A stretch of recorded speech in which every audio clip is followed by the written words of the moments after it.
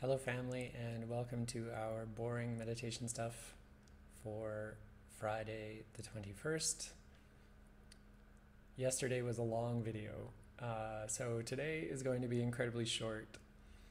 I woke up this morning and I was still pretty tired actually from this past weekend's hackathon.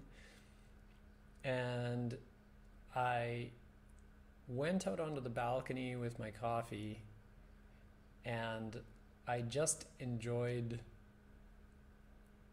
30 minutes being away from a computer, away from a phone, and even away from my notebooks and reading material and everything else. Just just time to stare off into the distance and think. Uh, I wasn't meditating at all. I was drinking coffee and thinking. Um, and I think the thing that gives me the freedom to do that once in a while is airplane mode. I probably can't advocate for airplane mode strongly enough. But as someone who who always believes that I can stay away from the phone first thing in the morning, I can stay disciplined. I really can't.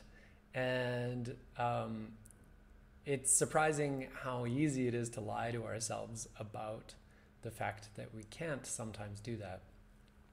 And if I put my phone into airplane mode at night, um, which if I get into the routine, then it becomes a habit, then it's not disturbing me first thing in the morning when I wake up. And I can enjoy half an hour with a cup of coffee on the balcony. It's not meditation, it's well outside the spheres of meditation, but airplane mode is uh, what I'm advocating for today, since yesterday's meditation conversation was uh, maybe a little heavy in places. All right. I hope you're all taking good care of yourselves. I hope that you're taking care of everyone around you. I will see you all tomorrow, and I hope that I'll see you all in person soon. Take care.